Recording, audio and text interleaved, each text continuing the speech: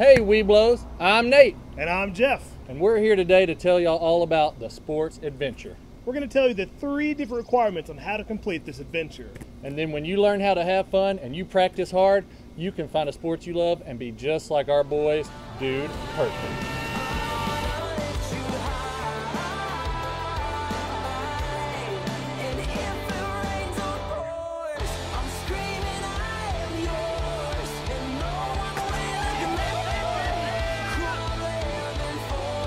This is the five story treehouse.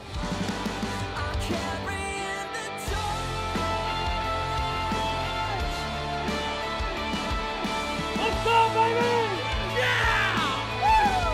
Found that. Found it.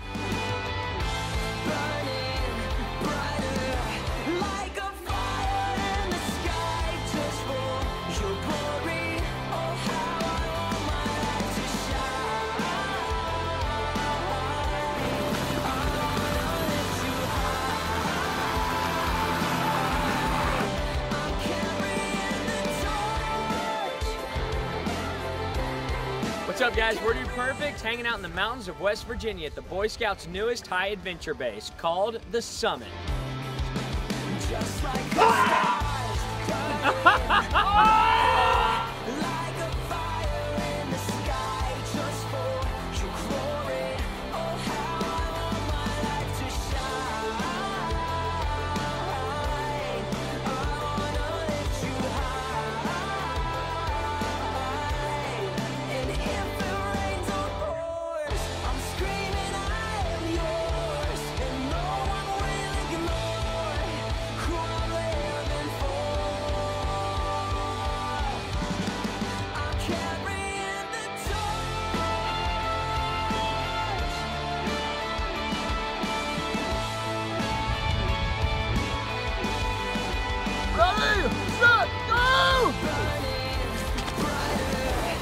This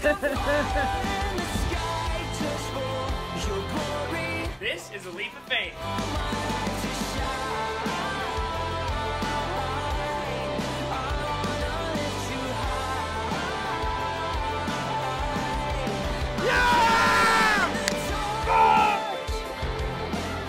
Welcome to the rock.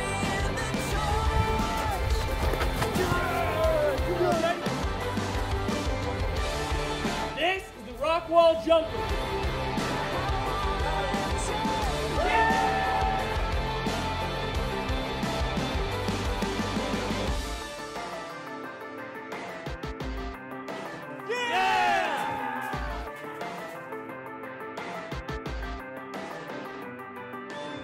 I'm calling out your name, come and drown out the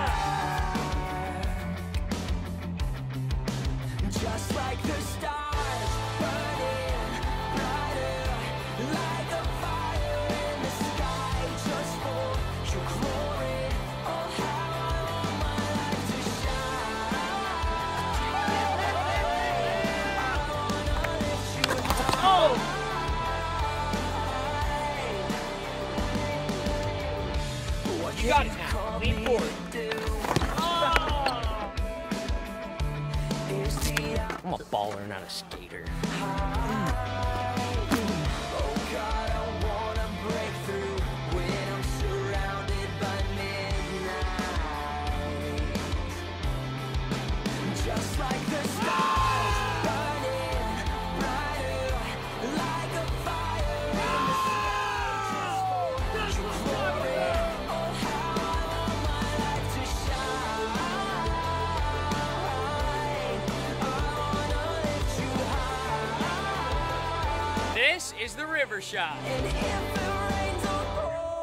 I'm screaming out. That's what I'm talking about.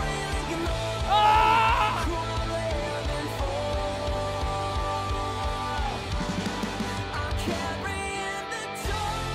Welcome back, Scouts. Before you play the game, you gotta know the rules of the game, right, Jeff? So we're gonna cover rules today about football. I'm gonna call out a signal that a referee might make, and Mr. Jeff is gonna show it. And we want you guys and girls to participate at home. So stand up and get ready. Are you ready? I'm ready. How about offsides? Offsides? Great job. What about false start? False start. Very good, Jeff. How about the field goal is good? That's right, three points. How about personal foul? Oh, man, personal foul. 15 yard penalty. Mhm. How about a safety? Safety. That's two points for your team if you get a safety. And my favorite, touchdown! Touchdown! Really good job. These are just a few, but you can learn more signals about any sport that you choose by looking online. But Jeff, why are rules so important? Rules are very important to the game. Let's have a discussion about that. Now, for signals, why are signals important in games? It's to make sure that everybody's playing fair. Everybody knows the rules, we're playing on the same set of rules. Um, have you ever played a game where there aren't any rules? I know for myself growing up, a lot of my friends would play games that kind of change the rules as we went along, and that's never fun. You got to make sure the rules are set and in place before you start. The third thing to discuss is how would you change the sports? If there were no rules, how would you be allowed to get a score or what's the penalty? How do you win the game? These are things you need to know before playing the sport. Hey Scouts, now we're on to requirement two, which is to play an individual or team sport. And you can do so many sports, such as football, basketball, soccer, and even baseball or softball. Check out your Webelos handbook for a list of all optional activities. All right, Scouts, time for extra credit. What I want you all to do is to think of a new sport. It can be anything. To make your own sport, decide how many players, how to win the game. It's going to be a lot of fun. I want to see what you Scouts can do. What you need to do is write down the ideas for your new sport and show it to your parent, a den leader, somebody at home that can help you with this. All right, Scouts, we're on to requirement three for sports adventure. Now, 3A is to explain what sportsmanship means to you. 3B is a role play situation that demonstrates good sportsmanship. And 3C is time for discussion.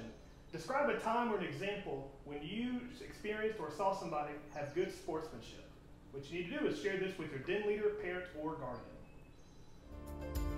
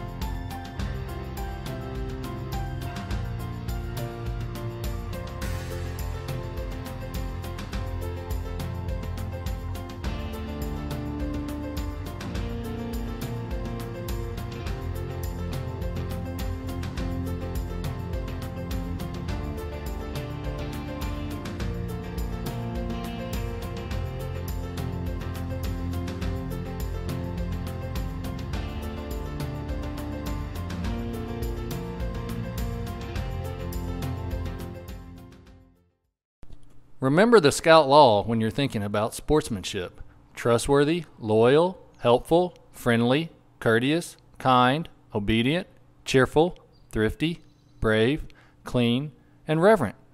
What does good sportsmanship mean, and what parts of the Scout Law relate to playing a sport? Hey, Webelos, thanks for joining us for the sports adventure. We had tons of fun. We hope you did too. Until next time.